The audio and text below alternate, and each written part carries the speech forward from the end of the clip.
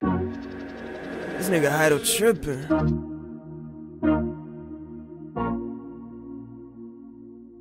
You already know Poppy go crazy.